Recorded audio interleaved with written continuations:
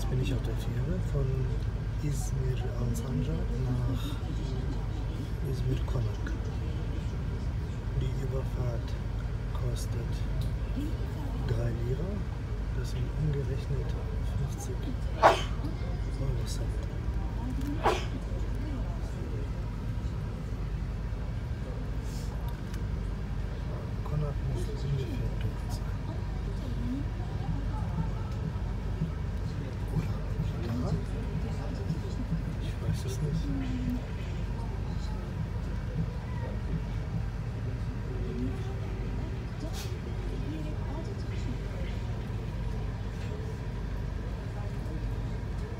Hier ist ständiger Fährbetrieb.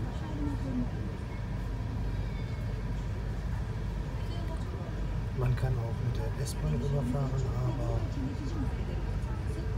mit der Fähre ist es natürlich schöner.